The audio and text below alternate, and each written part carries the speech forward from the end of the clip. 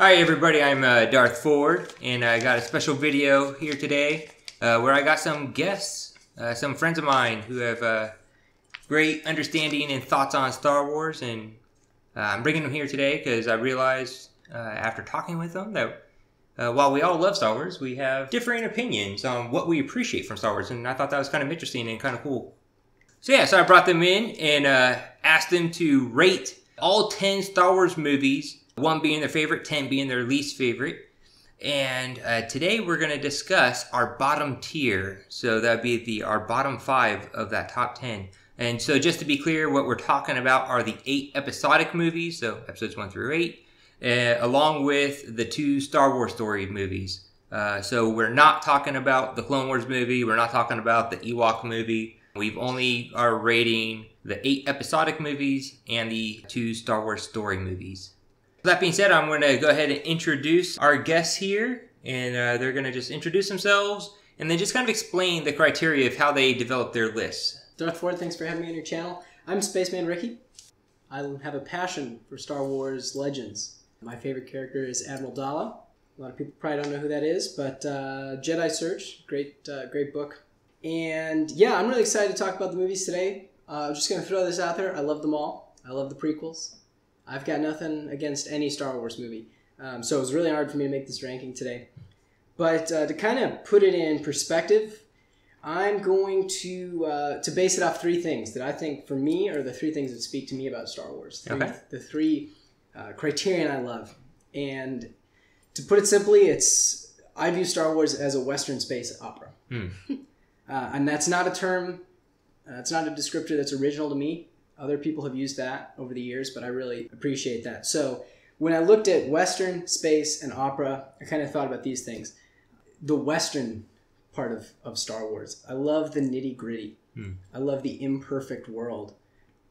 I and, and most importantly, something you see in a lot of great Western classic films is there's always an obvious clash between good and evil. Hmm. Though the characters are always flawed and imperfect, and most everyone has some sort of dirty background, it always comes down to a clash between like a good good and an evil evil. It's very clean cut in the end, and that's what I love about westerns, and that's what I love about Star Wars. Okay. Uh, I think the very obvious good and evil. So, uh, space. I love the open, huge universe that is Star Wars. I love that we can't understand it all. I love that we don't know all the planets, all the peoples, and, and you couldn't possibly hope to. And I think that even though we just in the movies get to see small actions, it's just a piece of the galaxy. I think Star Wars does a great job conveying that there is so much more than just what's going on. And so, one thing I look for in Star Wars movies is that space aspect. And then opera. And I kind of take this two ways. So, the Germans had a word, and it was Gesamtkunstwerk and that's a that's a, a, one of those classic German combo words. It basically means complete art form. Hmm. So the Germans thought that all opera should be a great uh, blend of the visually and aurally impressive things in their culture.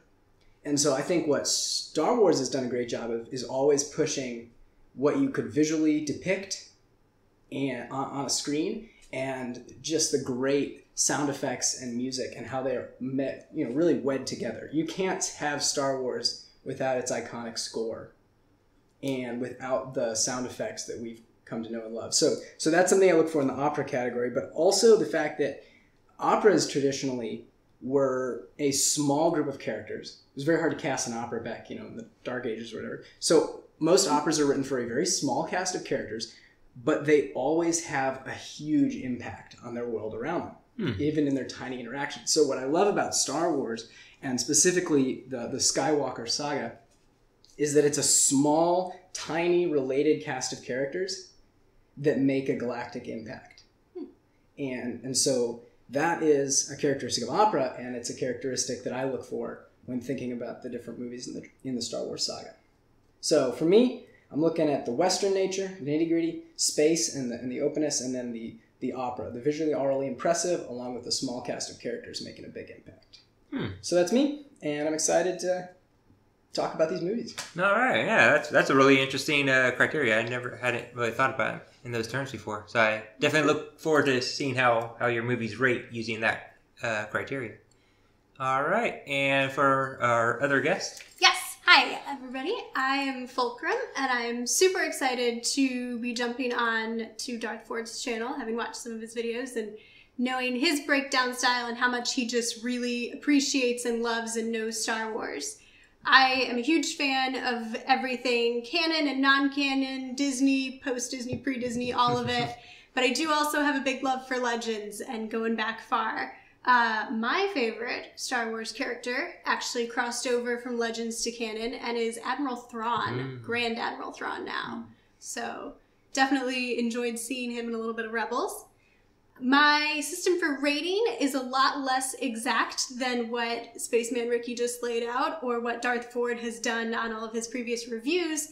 Mine is more a love for the movies, a love for the shows, and a love for the Star Wars storyline overall. So, which movie either was the most entertaining, most enveloping, most stole you away into that world?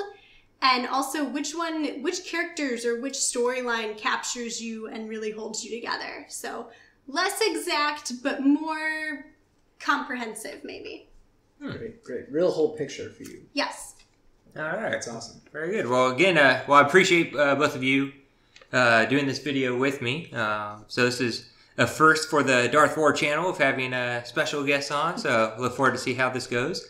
Um, and this is also the first uh, where we're completely unscripted, right? We have Yes. no idea what how each other rated these uh, movies. some of us finished our lists like two minutes ago so Yeah.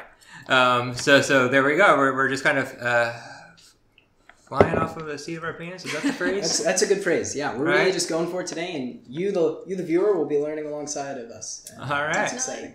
So we'll see how this goes. So yeah, so um, as you all know, so I am Darth Ford. Um, my favorite character, you know, you guys kind of threw that out there, and I hadn't even thought about about that part. um, my favorite character is probably, oh no, it is. It's Darth Vader. I know it's that's like the iconic, almost cliche one, but that for me is is my draw. Um, I love his story arc from Anakin to Darth Vader, the whole the fall and the redemption of his character. Um, and I feel like I, I could just relate a lot uh, to him, not in the sense that I've like gone evil and we and would whatnot. hope not but um, but but just a lot of I don't know. I, I, I always felt in some way I, I was able to relate to him. Um, I guess that's kind of weird saying that, huh? But anyway, and so my rubric on how my criteria, how I graded the movies and, and ranked them, you've guys seen if you've seen my previous reviews, I use a basis of where I look at their acting, I look at the directing. When I'm talking about directing, I'm talking about you know the cinematography, the choreography, just the particular camera shots and stuff like that. Um, just how the director takes the script and makes it into an art. Uh, so that's what I kind of look at with with uh, directing. Uh, with screenplay, that's my next category. Um, so I'm looking with screenplay the story itself, um, how it unfolds, the pacing of the story, but I'm also looking at the dialogue when I'm rating this the screenplay. Uh, the music, um, as you mentioned, I mean, there, you don't have Star Wars without the music, and John Williams in particular, yeah, John Williams in particular made um, made Star Wars what it was through his score. Uh, so that's one thing I'm always looking at is the Star Wars soundtrack. Um, even the ones that aren't by John Williams, you know, the two Star Wars movies, uh, the two Star Wars story movies, um, neither of them are by John Williams, um, but I still really look at the music to see how that impacts uh, the story. And then my last category is kind of more subjective in a sense, where I just categorize as Star Wars magic. It's kind of hard to describe what I mean by that, but it's just does it feel like Star Wars? Does it seem like Star Wars to me?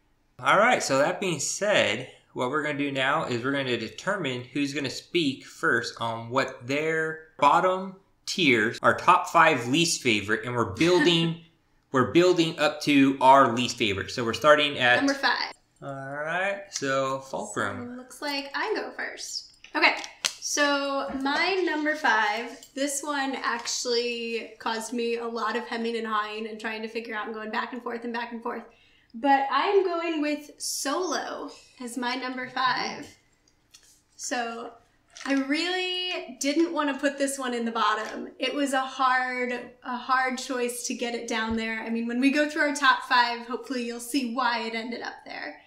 But this one to me, it just for being a Star Wars story and not being one of the main episodes, it captured the world.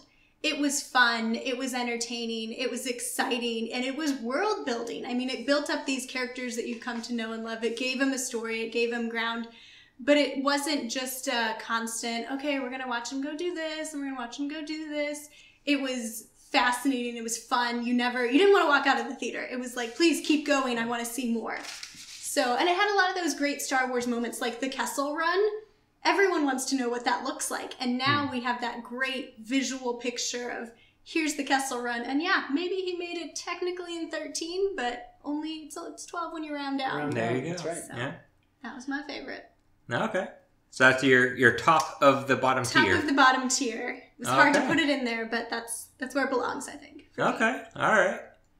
Well, I'm actually in agreement with you. That, that was my top There of the we bottom go. tier as well. So I- I'll when when it's my turn to talk, I'll, I'll talk about why I put it there. Um, but yeah, I think I agreed with a lot of what you said there. Do you have any particular input on her comments? Um, not really. That one's actually coming up for me. Mhm. Um, I mean, that, if that, I think uh, I, I'd just be curious to see more about why you put it there. Okay.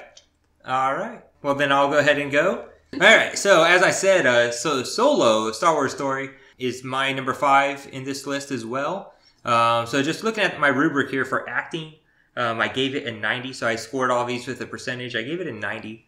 Um, I thought for the most part, all the acting was pretty well done. Um, I really appreciated it, particularly uh, Donald Glover, who played Lando. I thought that was Yeah, spot so on. good. Stellar. So good. Yeah. it was like Loved it. watching the original. Yeah, yeah, especially when you were first introduced to him, and you like you start to hear his voice. He's not quite on camera yet, and you start to hear his voice. Like it's like, is that Billy Dee Williams? Did they just take a recording was, from Billy Dee Williams? incredibly, incredibly well done. Um, I know some people kind of critique that, saying he was just doing an impersonation, whereas the person who played Han is actually like was trying to make it his own, where this guy was just trying to impersonate. Hmm. I didn't get that. I liked how he did Lando. I thought he was probably the best part of the movie. I also think Lando is a larger than life kind of character. Yeah. So there's not a lot of ways you can play him without it feeling cheesy or Mm-hmm. overdone. This was like that well well done balance. Of Yeah, I actually thought he played a, a more immature Lando, and I thought Mm-hmm. that fit perfectly in, into the next time we see Lando. You know, Yes. he's had some more mistakes, and he's also got a little more responsibility and weight on his shoulders. yeah, And yeah, so- especially by Empire. Yeah, Yeah, so I actually thought the that what might seem to some as being impersonating, to me that came across as just like a, a character who's a little more immature, which is Mhm. great. Mhm. I thought that was perfect. All right. So yeah, uh, my, my I say my only uh, the reason why Solo didn't get hundred, and I can't for the life of me remember his name, uh, but the guy who plays Han. Um, there, there are moments where, where I feel like he gets Han right, and Han is like I was I was talking to my brother the other day about this. Like out of all the characters, the probably the one that I'm going to be most critical about is Han mm-hmm. It's true. right? Because Luke, you know, Mark Hamill plays Luke in a fairly generic way. You could almost anyone could play Luke the way Mark Hamill played Yeah. Luke. Not not not to bag on Luke or Mark Hamill, but but but Harrison Ford, there's a very uniqueness that he brought to the character um, that that, Because that you just Han can't Solo is not a black and white character. He's Mhm. a very multifaceted. He's got some good in him. He's got some bad in him. Yep. And in the end, he's just kind of trying to make his own way through the world. yeah, And I think this, I agree with you. It was, there were times where it kind of felt a little bit like, okay, you're trying too hard, or this feels kind of strange. But it does go back to you got to see this is a kid that got dumped in in a hard time in the universe, a hard time in the empire, and had to fight his way through. And you kind of could see here the beginnings of how he built into that legendary persona that Harrison Ford does so masterfully. yeah.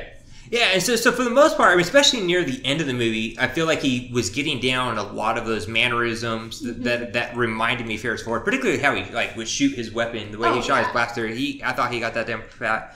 But um, but there are some other just just very minute mannerisms that I feel he he really did hit uh, with and Ford. But there are other shots where it's like, man, I, I'm not seeing him as Han, but more in the beginning of the movie, um, whereas like I just wasn't really seeing him as Han, and that was probably my biggest fear going into this movie is Mm-hmm. he this guy's got to get Han right. Yeah. Um, and, and I feel like sometimes he did and sometimes he didn't. Hmm. Uh, the directing, um, I also gave it 90. I'm not really going to go into a lot of detail here. Um, I, I enjoyed it. I know they had a lot of directing issues on this movie, as we all know, right? Ron Howard refilmed 70% of the movie. It was darker than what they were, what the original directors had had done. I know some people have complained that the cinematography in this one was almost too dark, like like like like physically too dark. Like Like, hard there, to see. Mm-hmm. yeah, it was hard to see. I didn't mind that. I feel like the kind of gritty underworld crime. I thought I thought it suited that. Yeah, I, Yeah. I gave it high points for that Western nitty grittiness. Yeah. Definitely. So I appreciated the directing on on this uh, quite a bit, especially in the time frame that when Ron Howard was brought on board to kind of um, make it his. Um, I thought he did an awesome job. Um, one of my bigger issues with the movie is probably the screenplay, though. Uh, this got an 82 for me. I feel like the story overall was fairly generic. It was fairly cookie cutter, fairly predictable. It didn't have a lot of depth to it. It was fairly surface level. I can agree with that. One of the things that made me push it down just a little bit was that very ending. Just because it had been such a grand movie, and it was Hmm. a grand adventure. It was a grand space adventure all the Mm-hmm. way through. And then that final part where, I mean, we don't want to spoil it too much if you haven't seen it, but that's your fault if you haven't seen it yet. Spoiler Um, alert. Yes, right at the end where the double cross and then the double cross again, and then it ends up being a triple cross, and it's Right. like that's great, and it's like that's a Han Solo move, but you kind of walk away feeling I needed something a little bit bigger, Mm. something on another, a slightly grander scale, a big finale almost, and instead they just kind of all the characters just kind of walk their separate ways, which Yeah. fit the storyline, Mm-hmm. but from kind of more of an entertainment point of view, I wanted to see something a little bit larger. Hmm. And I think that was one of the reasons I had to put it down Well, just a little bit too. And for me, I actually didn't mind that part. I didn't mind that it was a smaller story. hmm Um, I, I feel like the Han Solo story, I, I feel like that was kind of good. That it was a smaller story, but I feel like it was almost a too simple story. Okay. But I re- actually, I really did like the, the ending myself. I I feel like it was the parts kind of leading into the ending that I don't know. It, it just seemed too too Too you know, predictable. too almost? predictable, almost like a a, a, a uh, paint by numbers kind of thing. Um, It's a little harsh. uh, oh, I mean, I still enjoy the movie Yeah. overall, um, and I'm, I'm and I'm still processing. I mean, this movie has only been out for a couple weeks at the time Yeah. of making this uh, video, so I'm still processing it. But I know for the screenplay, it, it did get down low. My next category is music, and I gave it at 80.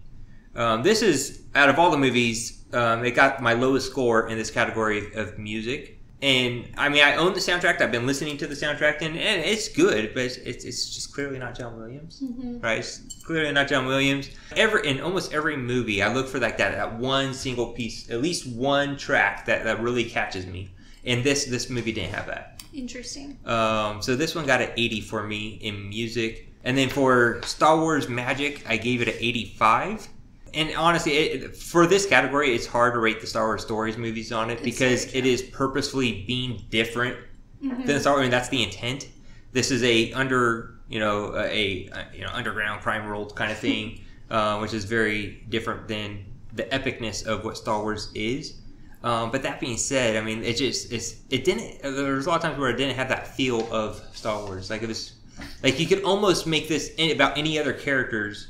Just name Han something else, name Lando something else, change up Chewbacca to another kind of monstrous creature, and this could have been any other movie. hmm Um, it didn't necessarily had it been a Star Wars movie. You know what I mean? Interesting. So that's why I kind of got low on my Star Wars Magic. So overall, it got an 84.4 as my rating.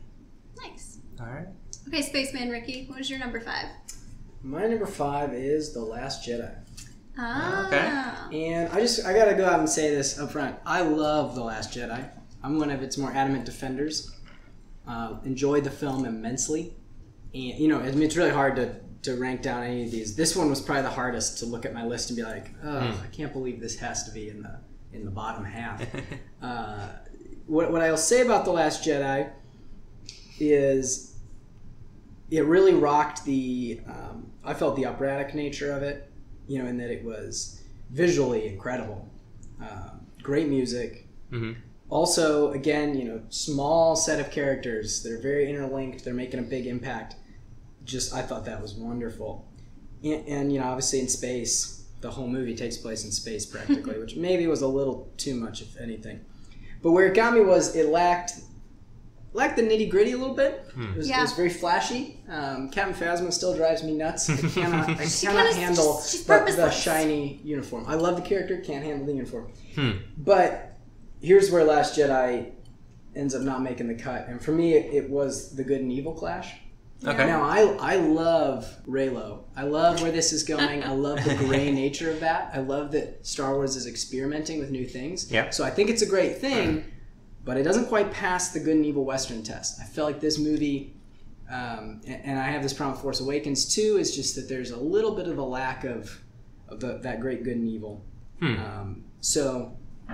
So that's what I'll say on the, on the Last Jedi. But again, this one is the one where I probably have the least critical things to say. Yeah. Simply because if it weren't for The other movies being the so other, much better. if it weren't for the movie I rank as is in its place on the on the, on the better list, needing to be there for me personally, it, you know, Mm-hmm. I, all the, the it tied. It was a tie, and it you know it lost the tiebreaker. You'll have Okay. to stick around to see exactly. You you will have to stick around, but All right. um, actually, it and the next couple are all ties, but but something has to go down. So It's true. So yeah, that's me. Last Jedi. So we had uh, two solos and a Last Jedi. okay. Five spot. Yeah, that's pretty interesting. All right. How about number four? I'll keep talking. This is Spaceman Ricky here, reminding you all to um, not drink and drive. But or fly. uh, this will keep the conversation real original because you've been listening to this video for 20 minutes and all you've heard talk of is solo. Solo. All so right. solo takes my next spot. You're number um, four. Four from the All right. bottom. And loved the movie. Thought it was a blast. Uh, uh, Fulcrum, you really hit it on the head. It was fun. You know, I just I, I watched it twice that first week and I was like, this is a blast. I hope they make more solo movies. Mhm. Agreed. It's great. It's great. In fact, it scored really high uh, in my Western space categories. It was very much a western. It was a great Mhm. It's probably the most closest to the western of any of the movies. In fact, yeah, from a, from a pure genre perspective, it it was the second highest I rated in terms Okay. of westernness. Interesting. We'll have to wait till next video for the, the most western. There of we them go. all. All right. But I'm gonna guess a New Hope on that, but don't say. am close. But here's where here's where I lost out. And we've already talked a lot about solo, so I don't want to say too many comments. But for me, it was the opera thing. Hmm. Um, visually impressive, musically pretty good. You're right. Not much of the music stuck with me. I thought the adjustment they made to the main Star Wars theme was fun and Yeah. interesting. I would love to hear that used more. Yes. And one thing that stood out to me is when they're uh, when he's, he's going into the reenlistment center or whatever. Oh He's yeah, gonna- he's joining So the Imperial They played the Imperial March, but, But in a at major. the end of the first bar, where you would have played a minor note, they play a major note. yeah, it's a major version. And I loved that. I've heard other people try to make the Imperial March a major song and they go way too hard. In the movie version, they just changed one note that comes up a lot, yeah, and I thought I that was fun. believe it's the same song that they used in Star Wars Rebels. In um, it's like Empire Day or something like that. It's one of the earlier episodes, I think, in season one. It's very similar to the Empire Day theme. I think there might be some adjustments. I'd have to listen to the solo one some more, Yeah. because it's a real minor. I didn't even catch it the first time, Yeah. but then I was like, wait a minute, they should have gone to. And Yeah. it really changes. yeah, the whole it's more of a feel. patriotic Mhm. version than an ominous Yes. version. Yes. You can So- see why it was used to recruit and not Mhm. terrorize. I, I mean, I know it's I know we're on you right now, but you mentioned music, and I, there was something I forgot to say on music, which was while I rate, did rate music the lowest out of all the movies, what I did appreciate about about the music was I felt it did a really good job at integrating the pre-existing soundtracks that John Williams had made into the movie, and it did it in a very seamless way. At least I thought. Yeah, I thought I thought Rogue One did a little better job, but we can, we can talk about that. later. Well, yeah, I mean, this is my lowest music rating, so, So- I, I agree. those are some things I love about Solo. But here's what I don't love: Okay, there is there is no galactic impact to this story. no, So small cast characters, very interconnected. Mhm. I love that. hmm But the events don't they don't change the galaxy. hmm I think, I think Rogue that's One, part of the point, I think. Mm-hmm. Rogue, Rogue One is a Star Wars story that changed the galaxy. Definitely. yeah, Solo didn't, and so I'm not knocking it as like, oh, I wish they would have made it have galactic impact. I'm just saying like it never was going to. This is an origin story. So Mhm. unfortunately for Solo, Mhm. they're they're starting behind. They have a bit of a disadvantage in that it, Yeah. if it had huge galactic impact, it wouldn't make sense. Yeah. Yeah, It I mean, I agree. I mean, that's why that's why it ranked low for me on that Star Wars magic, and it's like hard to say that because that's not its intent. It's purposely trying to be different in that regard. Yes. But yet, since I have that as part of my rubric, I have to follow through. Now, maybe future solo movies, if were there to be any, could would would start to ramp up their impact a little bit. Yes. But it also it makes sense that Han's character is kind of a, a galactic nobody until New Hope.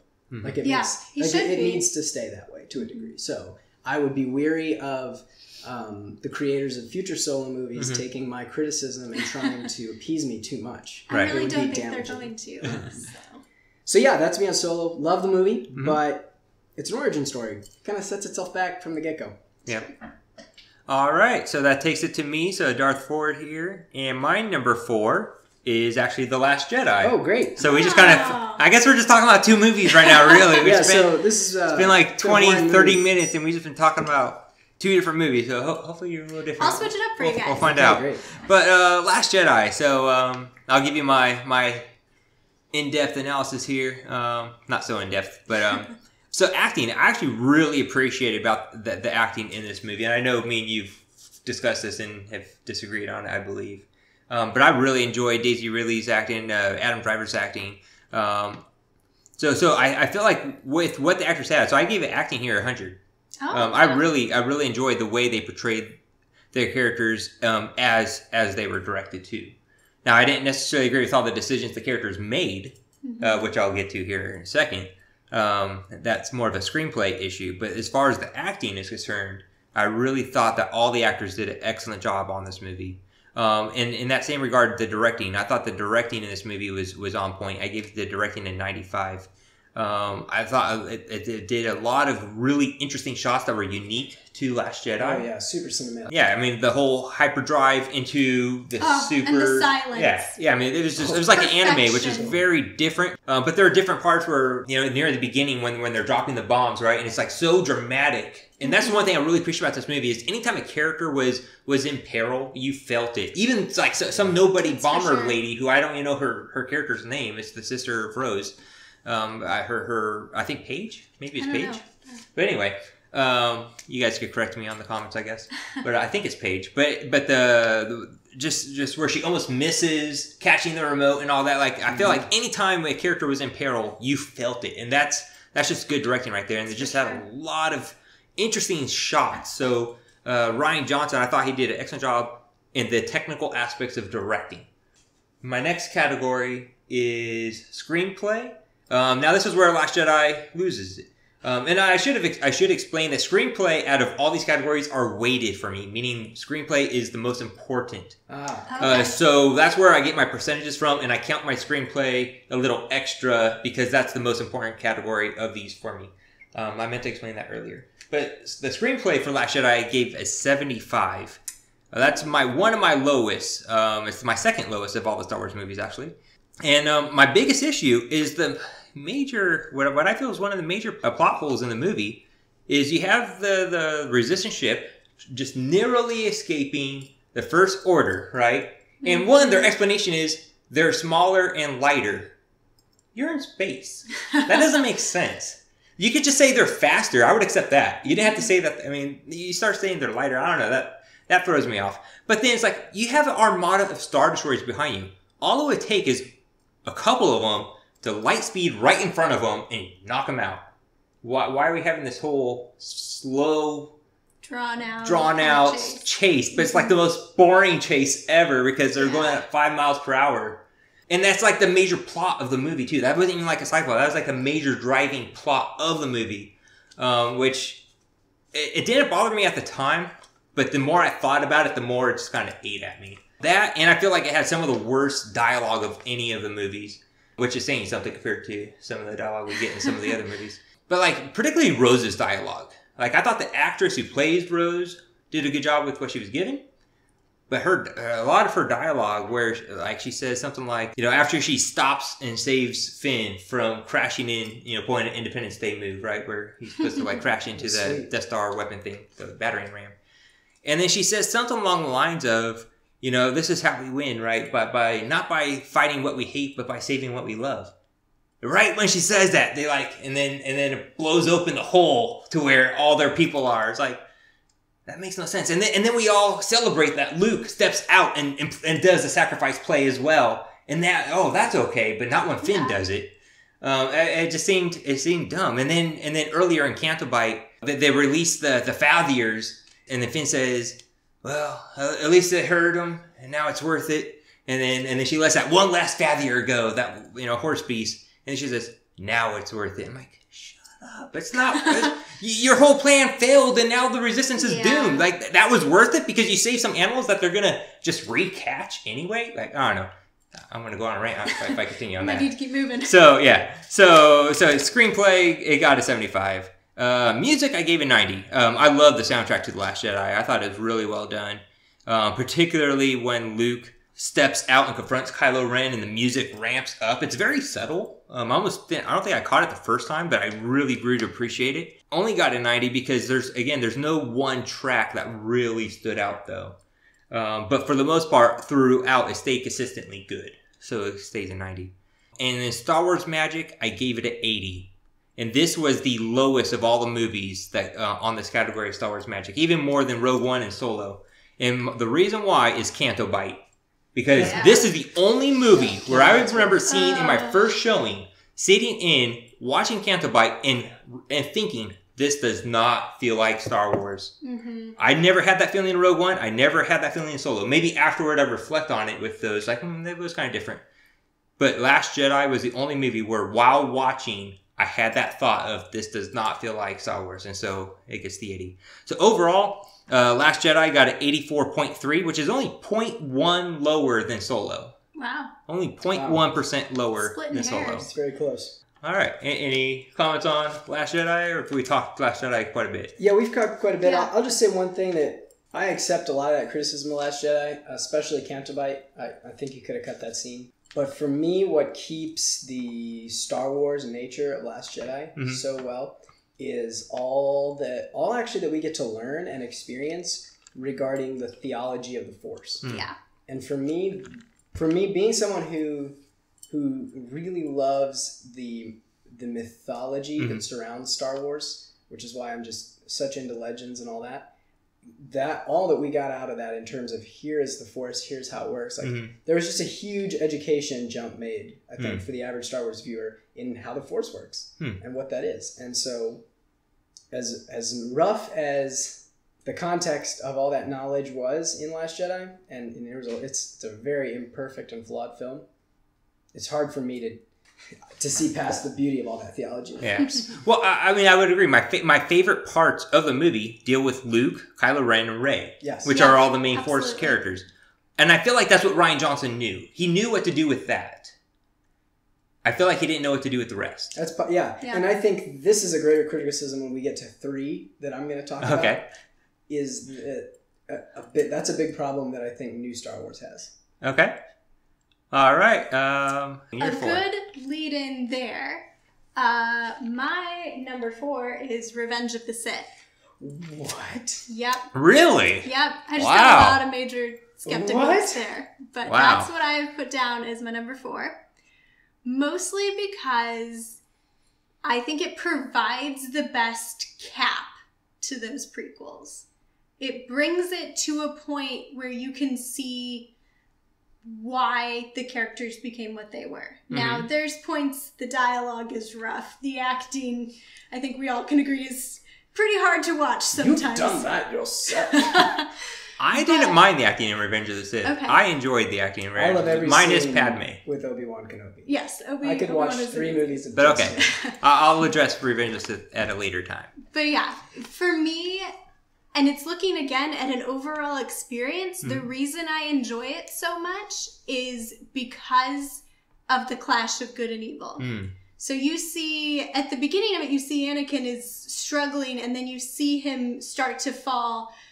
It was a little bit of a quick fall, and it Mm. kind of was a bit of a It was messy fall at It times. It Rushed fall would be a great way to put it. But to see the pure evil of the Empire being born, and to Yep. see that, especially in Palpatine, to see that then juxtaposed against the Jedi, completely innocent, or what they think is innocent, completely caught off guard, especially by Order 66. I mean, can anyone who has a heart watch that and Hmm. not be broken to Ooh, pieces? it's tough.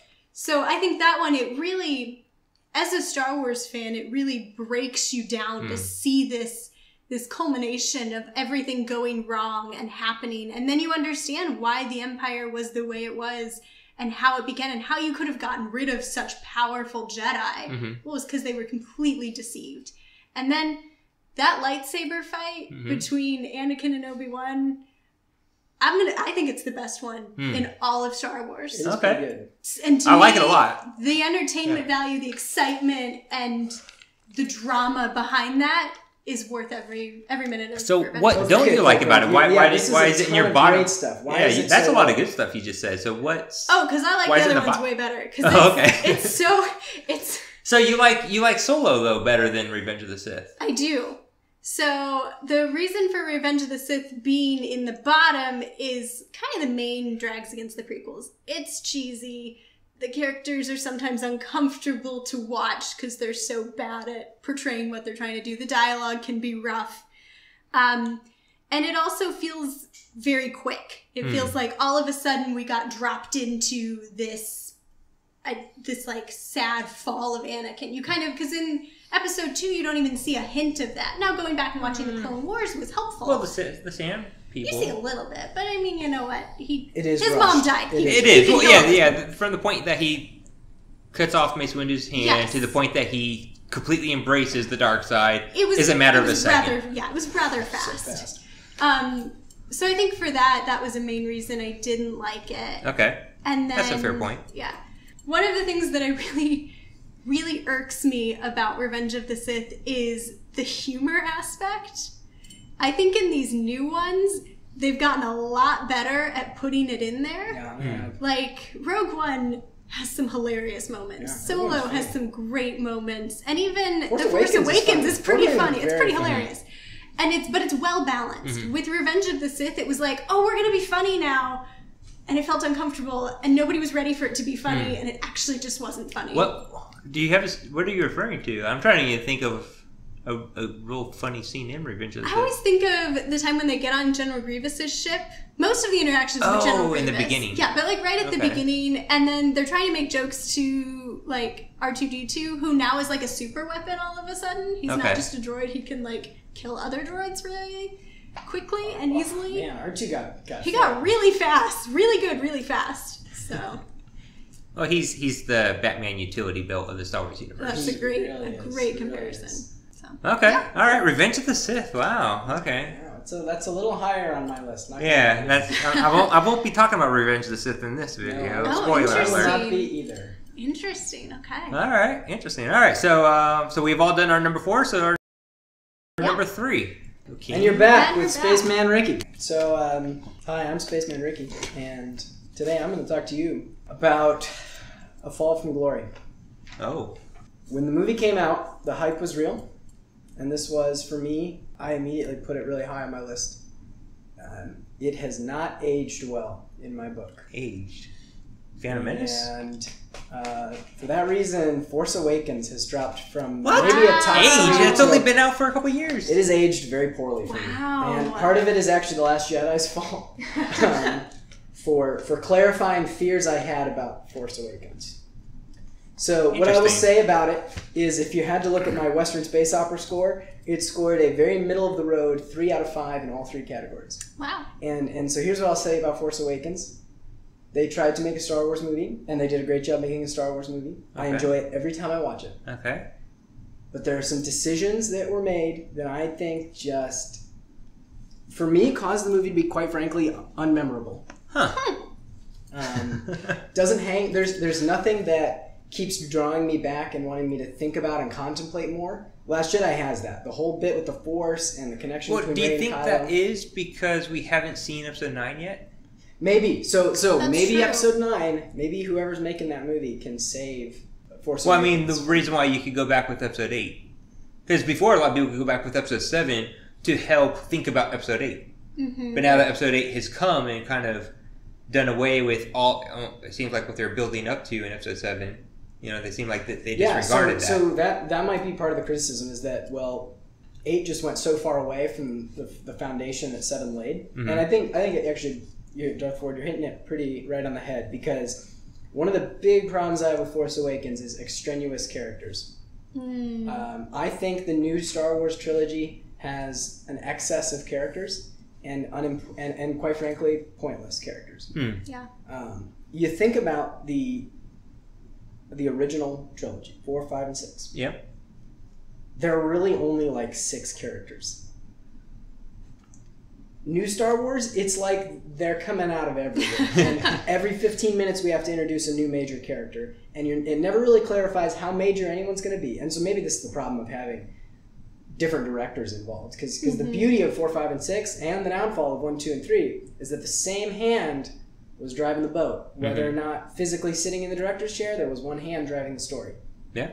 Four, five, I'm sorry, seven, eight, and nine do not have that. So for me, it's extraneous characters. I, and if we're just talking characters in The Force Awakens, because I think the problem got even worse in Last Jedi. For sure. Mm-hmm. Um, I don't understand the role of Poe. I mm-hmm. don't understand the role of Finn. I don't understand the role of Captain Phasma, and I don't understand the role of the First Order. Hmm. Yeah. So First Order is cool. I like it. I just don't think it was properly fleshed out, and I think they tried to introduce too I don't many think characters. it was properly explained. Yes. Um, I like the idea of the First Order once I really dug into it, but I had to read a lot of different articles, Yeah, and I've read a read lot of different books, books too. So like to really get into what is where the First Order came from. They Right. never explained that, and now with how Last Jedi dealt with Snoke, I'm wondering how much we're even gonna. I don't think they're gonna address it. They may Yeah. not. If the first order seemed very cookie cutter to me, Mhm. cookie cutter bad guys, and was the galactic impact there? Kind of. Was it a huge open universe? Yeah. Yeah, it was big. Maybe a little too big. Maybe a little too big. Was it a nitty gritty film? Yes. Was there a class clash of good and evil? Yes, but it was kind of generic, and I don't necessarily understand why there's so many characters. So, Hmm. so for me, The Force Awakens is a little unmemorable because I'm not really learning anything new about the universe like I do in Last Jedi, which I think educates you a lot on things. Hmm. I'm not really learning anything new in Force Awakens. It's just, it literally seems to me, and nine, you might be able to fix this. It literally seems to serve to introduce characters, not to introduce story. Hmm. Hmm. Um, Okay. and whereas I think New Hope introduced story and characters. So, uh, with that in mind, Force Awakens became kind of unmemorable. Well, and I think that's a, why a lot of people didn't like Last Jedi, though, is because it it seemed like Force Awakens was setting stuff up, and Last Jedi disregarded that, and so you're putting the fault. Then it seems like on Force Awakens, I, I'm putting the whereas fault it seems on like a Last lot of people put that fault on Last Jedi. I'm Jedi. putting the fault on Last Jedi. But yet it's Force Awakens that's suffering because Force Yes, the Awakens Force number Awakens three, suffers. whereas Last Jedi Hey, was.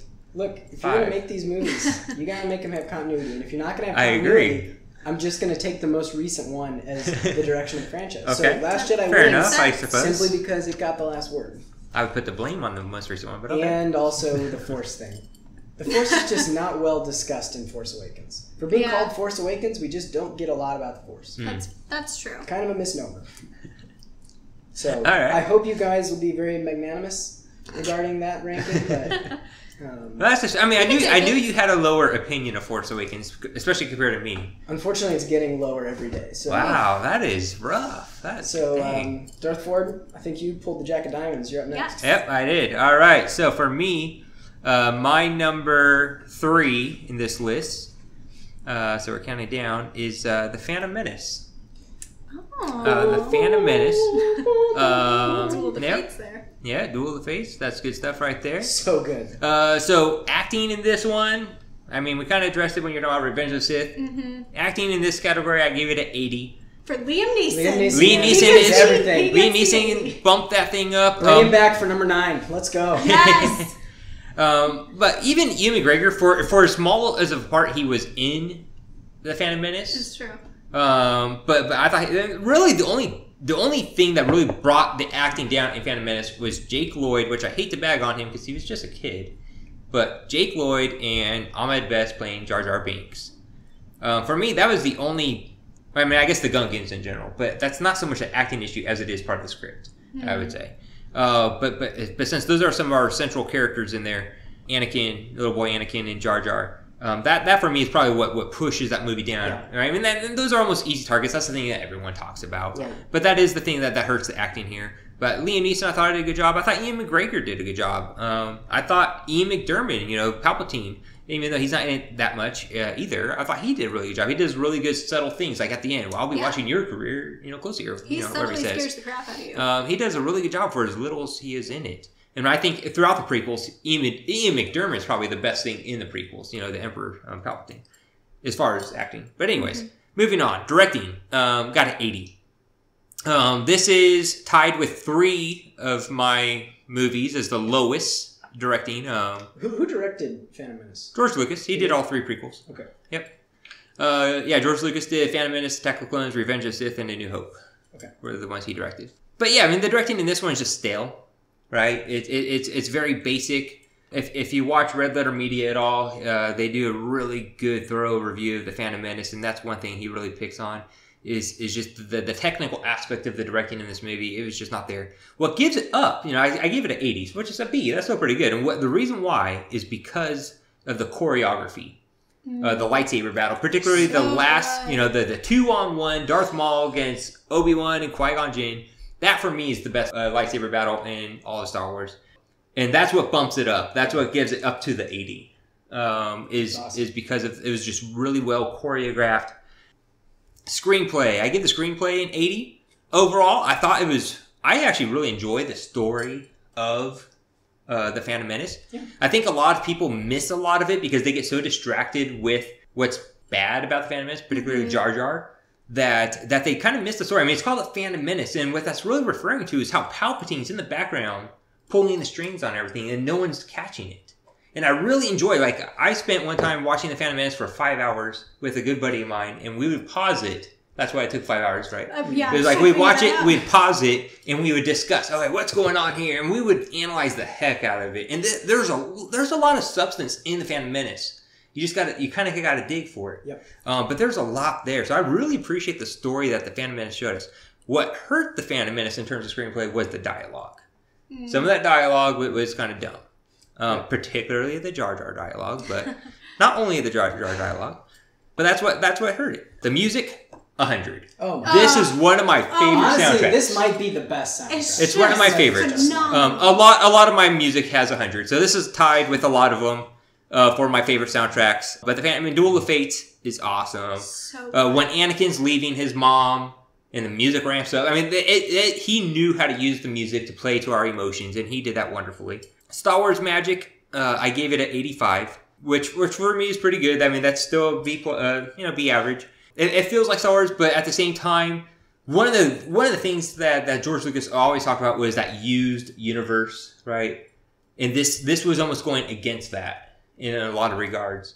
Um, and, and that's what that's kind of a common complaint with the prequels. What he talked about a lot in the originals, he backpedaled on in the prequels, and one of those being this used universe concept. So that's why it kind of gets uh, bumped down a little. It, I mean, it, it's kind of an easy one to pick on, I guess, and that's Yeah. that's part of why it gets bumped down too. So overall, it got an eighty-three point six uh, for me. just Okay. solid score. Yep. Okay, well, my number three will be short because I don't want to keep beating a dead horse. But my number three was The Last Jedi. Hmm. So, and the reasons have been discussed at length. But the reason, the main reason I didn't like it was all the excess characters.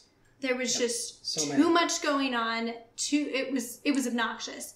The especially that uh, what was she? Was she an admiral, the lady with the purple hair? Yeah, Admiral Holdo. Admiral, Holdo, thank you. Yep. She, I, I can't stand her character. Oh, yeah. I'm sorry. And the whole feminist issue, like, okay, if you're a dude, you can't make a decision, but if you're a woman, somehow you can make a decision and run the world.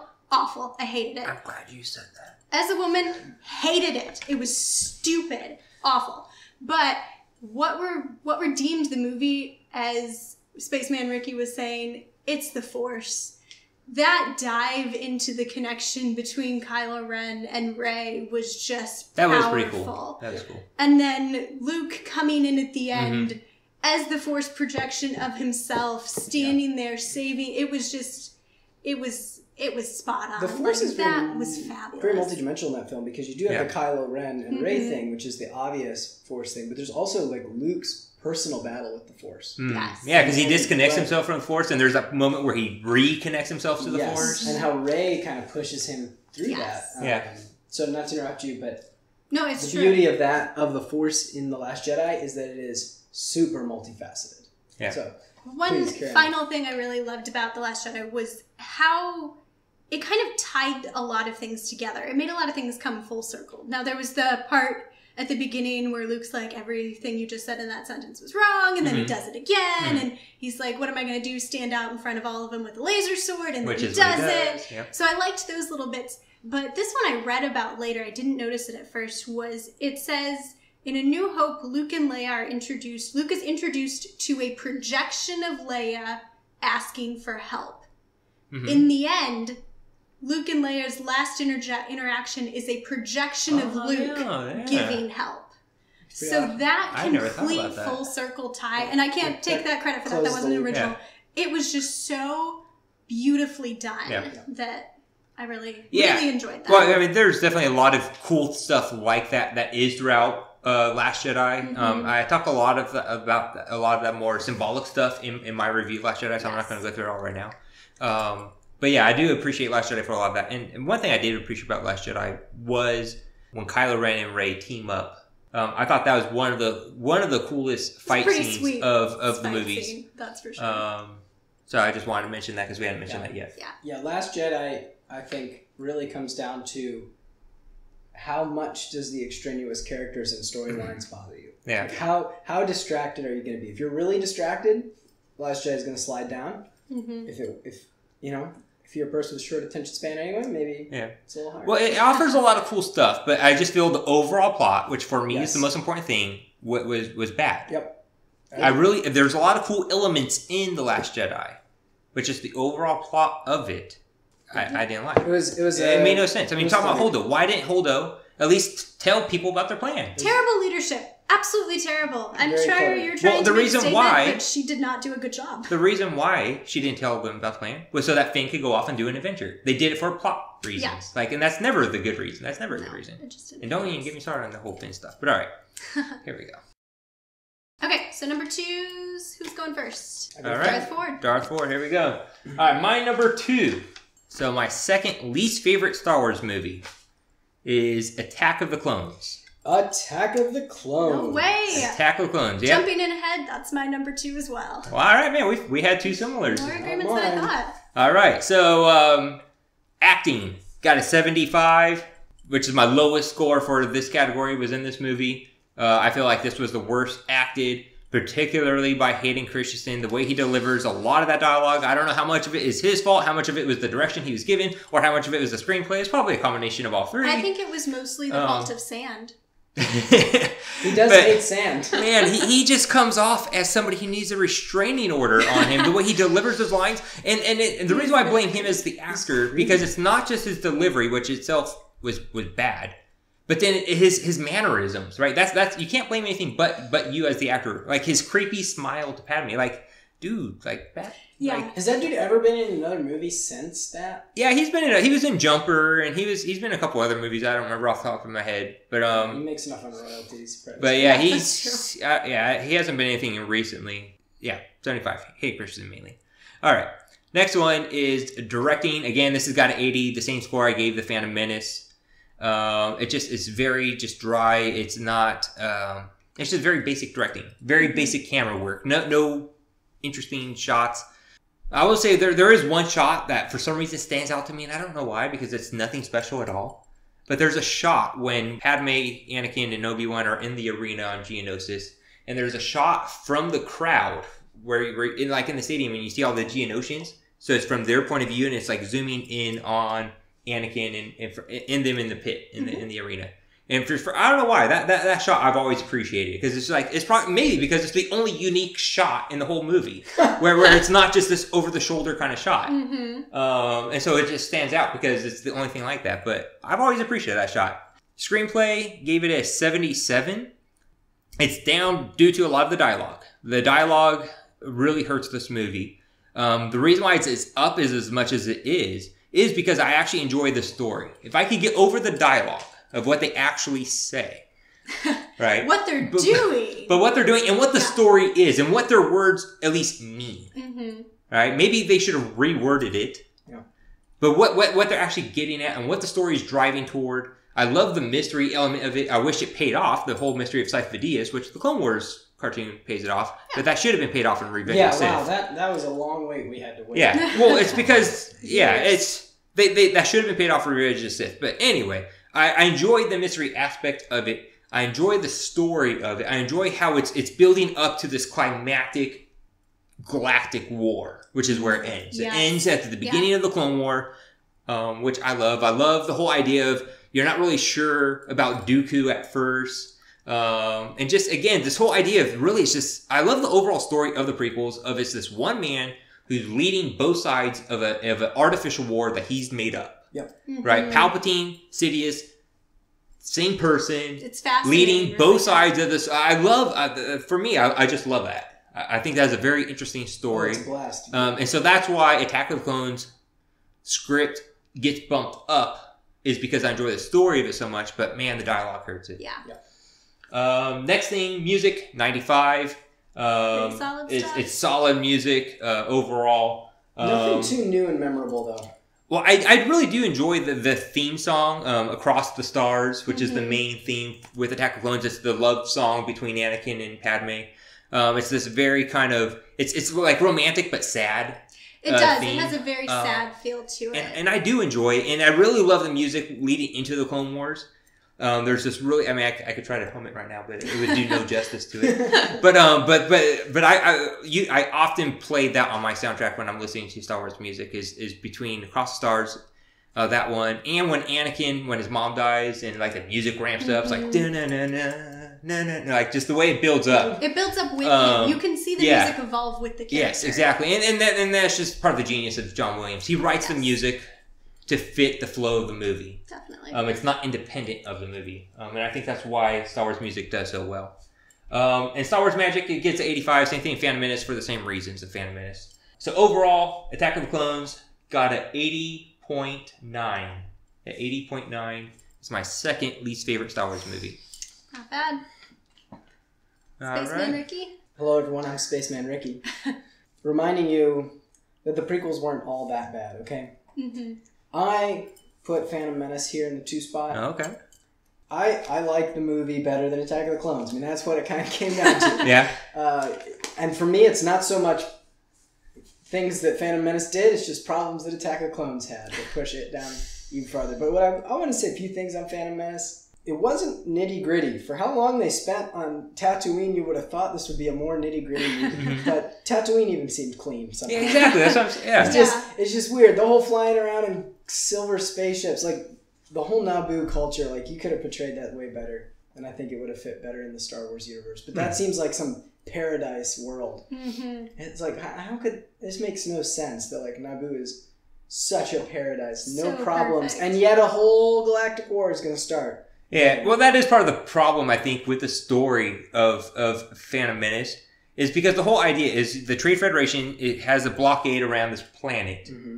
And people are starving and dying. Like this is a thriving, growing, living it's, planet. It's not doing anything. like how is a blockade stopping people from from living? right.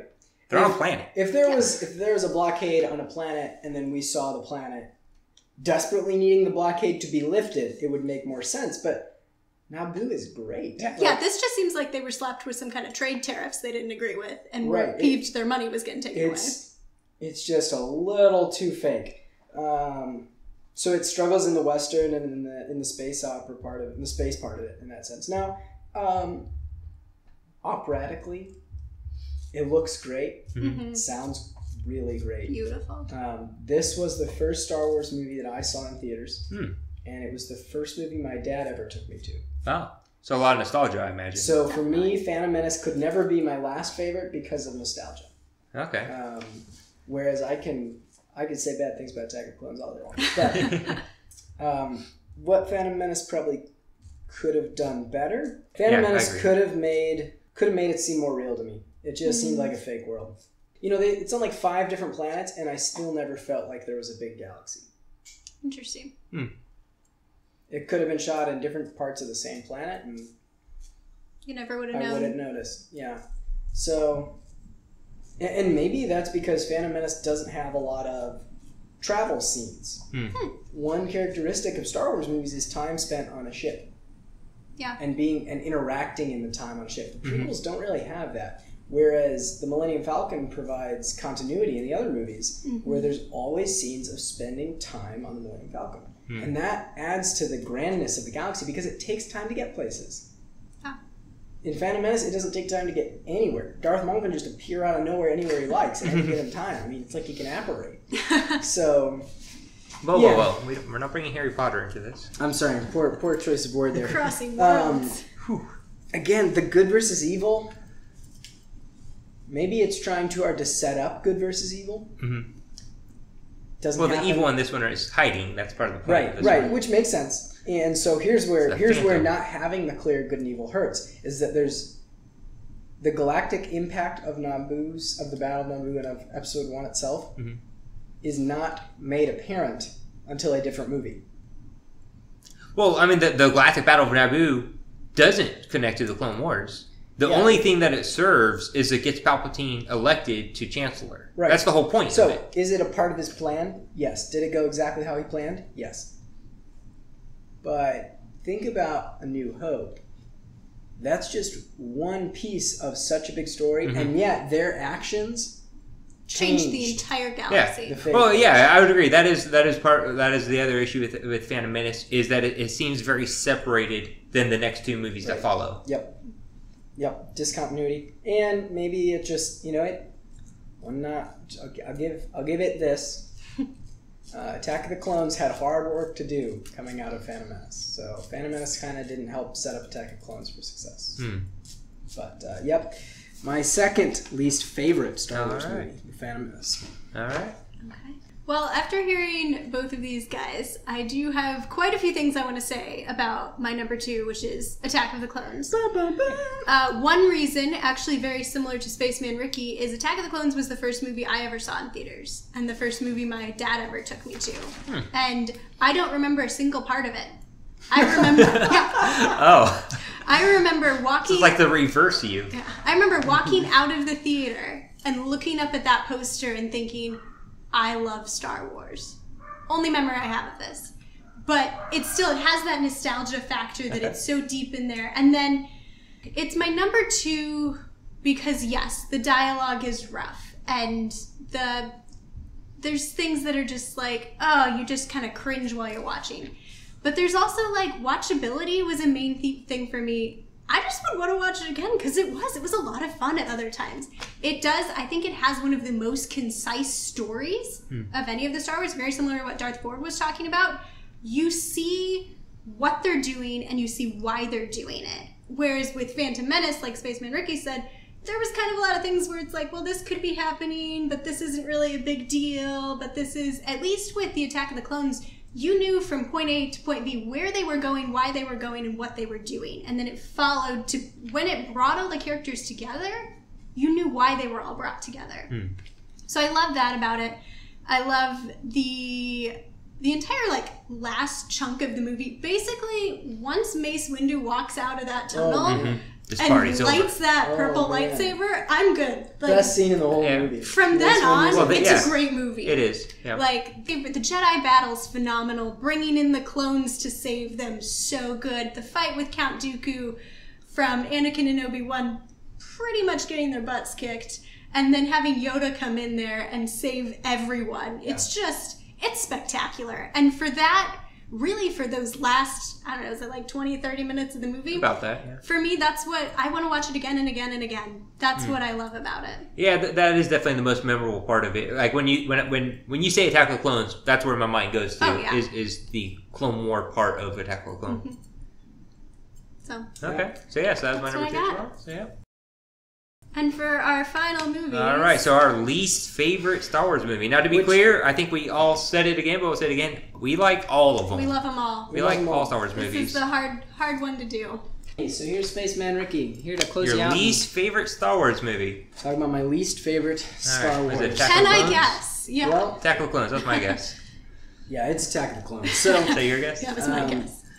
I think I have a pretty balanced back five, as I'll say, um, simply because I've got two from the new trilogy, two from the prequel, and Solo in there. So I, Okay. I think that's a pretty balanced. I don't think that Yeah, shows. definitely. Wait, do you have an original trilogy in there? Uh, do I did not? I do Oh, not have an original okay. trilogy Alright. Because Because they're all awesome. 'Cause can we I'm, even I'm do going to guess? Fulcrum won't, will also not have an original trilogy. Okay.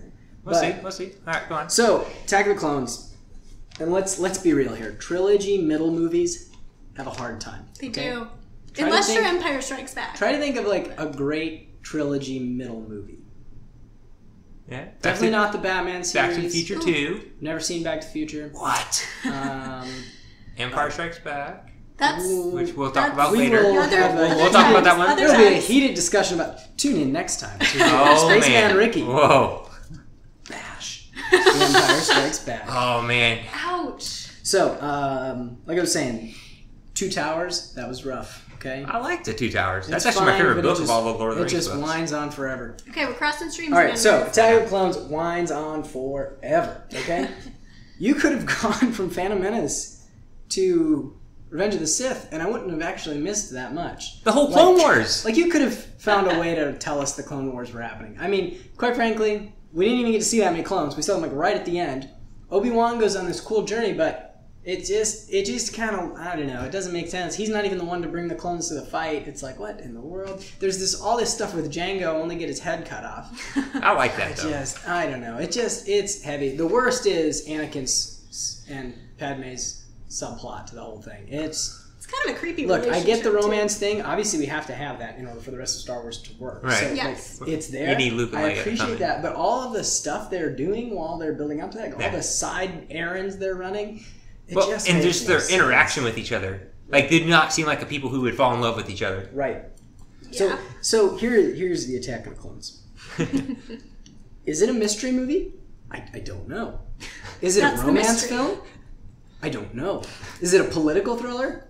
I don't know. Is it a war movie? I don't know. Is it a rescue op? I, I don't know. It's like it's trying to be a little bit of everything, hmm. And then succeeding at none of them. and and it, it never it doesn't pull anything out of it. There's some great lightsaber action. Mace Windu's awesome. My favorite shot in the whole movie is when he walks in. It's just it's Yeah. just great.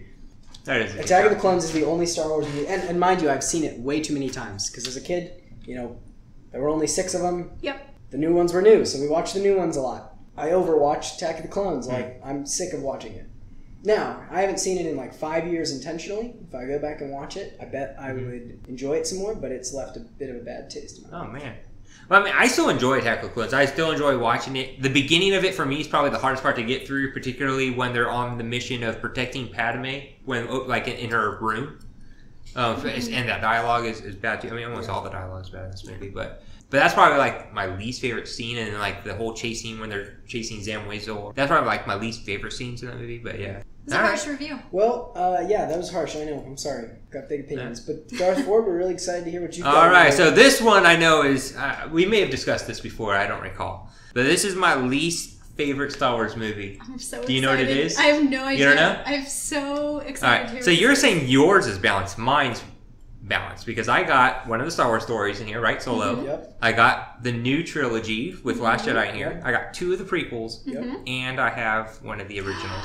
That is heresy. It's a Star Wars cardinal No, sin. it is Return of the Jedi, what? my least favorite Star Wars movie. I think we need to be done with I this. know. Dear viewer, I knew you were gonna. Wow. if you could see me, I'm getting up out of my chair and walking away. My Star Wars mind is blown. Return of the Jedi. I'm All right. questioning everything you've Now, said. I this was my favorite one as a kid. Now, when when I was a kid, the prequels weren't out yet, so I only had the original three. And this was my favorite one as a kid, and this is probably the one I watched the most as a kid. But as I grew into my teen years, I slowly transitioned, and then this became my least favorite one. Um, it was like it was a weird transition, and I kind of remember as it was happening too. I was like about thirteen or so, and here's why: is I don't feel like this one really offers anything to the, the Star Wars universe. what? Now let me explain. All right, now acting. I'll give uh, acting a 90. I thought they all did a pretty good job, though I would say I noticeably see Harrison Ford not caring as much in this movie. Like you could tell, he, he- he's he's there because he's obligated, because he's contractually obligated. He wanted to die. He, he Harrison, not I mean Harrison Ford didn't want to die. He wanted his character to die. He felt that that would make more stake. You could tell he didn't really want to be a part of it, and, and it shows in his acting in this. Uh, he still does great acting. I still enjoy his acting in it, but I could tell it's his heart's not there. Directing, I gave this an 80, which is the same I gave Phantom Menace and Attack of the Clones. This this is very dry cinematography. It's not George Lucas. It's not Irvin Kershner who did it. I forget his name. It's Richard something. But it's, it's a very basic directing cinematography, and even the uh, choreography, like Luke rescuing Han from Jabba's palace. That is very very sloppy choreography. I mean, you noticeably see him kick and not actually making contact, and the guy goes down. Right? I mean, this is like almost like wrestling bad choreography. For me, this was the worst screenplay out of all of them. in Ah, terms of its story. what? In terms of its story and plot. What are you talking about? Because it doesn't really all out of all the other movies, all the other movies have their own story. This movie does not have its own story. This movie is only a conclusion to the original trilogy, and that's all it offers. It, do, it doesn't have a story of its own. Its story when is you're a trilogy and you're the last movie in a trilogy, I'ma shouldn't you you, be there No, to no, conclude? I'm gonna let you finish. That's but- part of the role, but I can watch any of these other Star Wars movies and have a complete movie. Not so with Return of the Jedi. Return of the Jedi is an incomplete Yeah. movie. All it is is an ending. In my opinion, I think you're looking at it the wrong way. Okay. Ugh, The other two movies serve Return of the Jedi. yes. Four and five exist to prepare you for six. No, well, see, what happened was, and what George Lucas did when he when he made A New Hope, he wrote a whole script, and then he realized, oh, the script's too long, so I'm going to just take the first act. But then he realized, well, I need an actual ending though, because the, the first act doesn't actually have an ending. So he takes the ending of the last act, Act Three, and pops it in there. That's why we have the Death Star in A New Hope. Well, then instead of coming with something new, he just redoes that. It, it, it doesn't offer anything new. It's it, the, the first half is them rescuing Han Solo, which takes way too long. It's way too dry. It didn't take that long. No. It takes nearly half the movie. You get to see him fight a Rancor, and you get to see them fight the Sarlacc. So it's like two interesting and Yeah. exciting things happened in one I, I thought that section was huge on character building because you're seeing the team really flesh out some roles and really Mhm. showing the bond of the importance of the team. You also see Luke's leadership. I mean, until then, Luke was just like. But I do like Luke in this movie. Well, and the Ewoks. I feel like the Ewoks just. It, it was very much a foreshadowing of what was to come in, in Phantom Menace in terms of how mm-hmm. Kitty was bringing it down. I often say my favorite parts of Ewok scenes are when we see the Ewoks die. Like, Wow! because that brings it real. That makes it less than a kid movie. I, mean, I know that's like harsh to say, but it because that's the thing that makes it show that oh, this isn't just teddy bears. This Do you is, also this look actually- forward to watching Anakin slaughter younglings? No, um, that actually brought a tear to my eye. We But um, the, the Battle of Endor could have been so much more because where are all the rebel soldiers? We never see them. Han brings down a whole squadron, a whole unit of rebel soldiers. We see them marching at, at first when they're doing it, but then during the actual Battle of Endor, it's just the Ewoks against the stormtroopers. And that's it. You don't see the rebel soldiers actually fight the Empire. Now, I will say that this has my favorite space battles. I love the space battle Yes. against So in, in the second Amazing. Death Star, even the whole "It's a trap" thing. I love it. All right, anything dealing with the Empire, I love in this movie. Yeah. Anytime we see the Empire, anytime we see Darth Vader's interaction, the climax, I, I love. The, I do love the climax of it with Luke and Darth Vader, and almost Luke giving in to the dark side. I love all that stuff. But I feel like again, like they didn't really know what to do with Han and Leia, so they just kind of throw them on the side mission. I feel like it was the same issue that they had with Poe and Last Jedi. They just didn't know what to do with the character, so they just kind of threw him down here and on some side quests. It really centered on on on Luke. Whereas at least in Empire and in A New Hope, those characters actually had a significant role to play in the story. This this the story is really only about Luke and Darth Vader at this point. They didn't know what to do with the rest of it. Could be I argued think- that all of the original trilogies Right. are just about Luke. Well, I mean, he's the main character, that keep hanging absolutely. So he's the main character, but the other characters contribute to the story. Here, they're not really doing anything. They blew up the shield generator. Yeah, it's a random side quest they had to do because they didn't know what else to do with them. well, well, how else were they going to blow up the Death Star? Yeah. There wasn't I anyone don't- to I'm get not writing the movie. I'm just saying. Wow. That's all it was. What we Yeah. got was was not much. So, so mean, we- here's my criticism with the way you're coming at this. Mhm. I think for me, and, and this is where Disney and I are going to have a beef if things get bad. all right. forward. At least the first six films is the story of, in my opinion, Anakin Skywalker. hmm Definitely. It had to slim down to him and whoever else was going to be a part of that. Like, like it had to finish on being all about Darth Vader. Oh, absolutely, and that's that's that's one of the redeeming qualities of Return of the Jedi is I really love the redemption of Darth Vader. But that's really why I feel like it doesn't uh, story wise it doesn't offer really anything beyond just the conclusion of of the story in itself. It's not a complete film in itself, whereas every other Star Wars movie is. It's the conclusion of an epic. It doesn't have to stand alone. hmm But as a Star Wars movie, it should. It, it, it could do that and be its own movie. It could be a conclusion and its own movie. It's like A New Hope, right? You're on Tatooine at first, and then you go to the, and then it's about destroying the Death Star. That's the plot, right? The reason why I could get over Force Awakens doing the same thing is because the plot wasn't to destroy Starkiller Base. That's that's just kind of there. but the plot was more character centric. The plot of Return of the Jedi, part of the driving plot was to destroy the Death Star again. That was its primary plot. I disagree with that. I think Well, that's but the that is plot. what it is. I think that's the plot that the, that you are meant to think.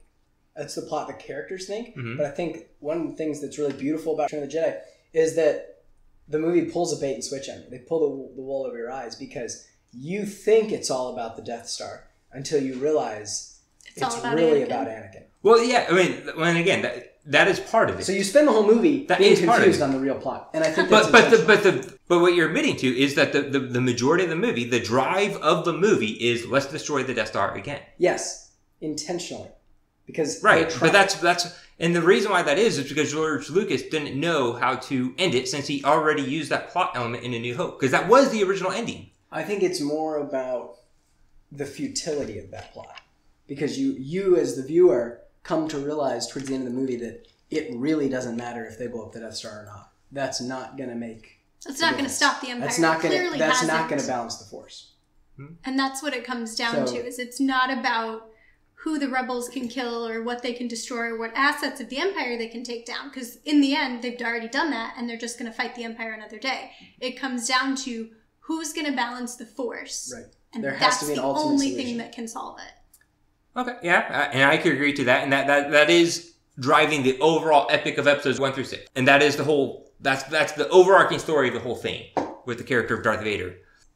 And I, I and I see that. That's why I say it's only an ending. It's not its own plot. It's only the ending of this of the overarching story. Now, music, I give it a ninety. Again, great John Williams music. Beautiful. Um, Yeah, that that the duel scene at the end. oh yeah, The music I mean that there- is one of my favorite pieces. That's Gotcha. amazing. Yeah, Gotcha. Um, it's iconic. And then Star Wars Magic is is a 90 as well because it is Mhm. very much it still has that Star Wars feel to it.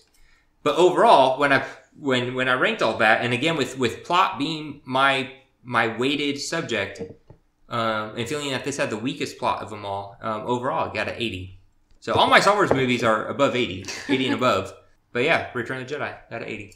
Um, we will have this discussion again, dear reader. Yes, we, We will because will. I know your guys' number one here is not Return of the Jedi, therefore it must be in your top five. It- yeah. So my least favorite Star Wars is Phantom Menace.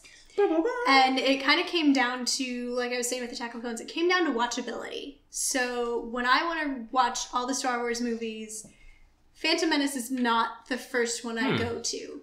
Mostly because I think it's a little slow. And it kind of loses that grand excitement feature because it gets so caught up in being stuck on Tatooine. It is so slow. It's are so, right. slow. There's just like, and then once they finally get to Coruscant, you then remember, oh, they were only going to Coruscant to talk to somebody. They weren't actually going to Coruscant to do anything exciting. I So then they have to go- Went. Like, Yeah. So then they have to go all the way back to Naboo, and then they have to talk to another person. There's just so much talking, Right. and Hmm. there's it takes so long to get to that epic showdown, which what I really enjoy the most about Phantom Menace, where you have the lightsaber fight between Obi Wan and Qui Gon Jinn Mhm. and Darth Maul, and it's just it's spectacular.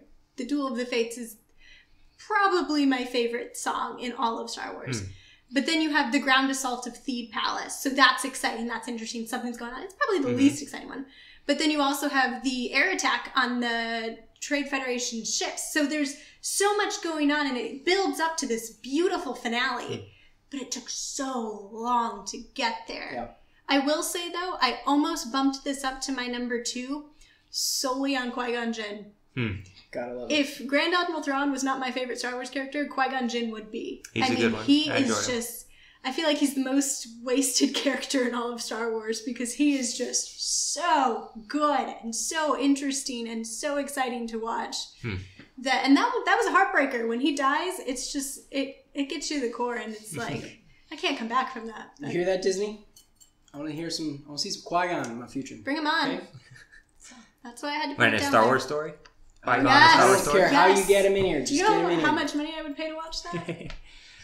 Okay, interesting. So Phantom Menace is your least least favorite. So all three prequels were in your bottom five. All three prequels are in my bottom five. Not that I don't love them. I will watch them over and over again, and Mhm. I enjoy them so much. But they did have to, They did have to make their way down So there. what you feel about the Phantom Menace is is kind of how I feel about Return of the Jedi.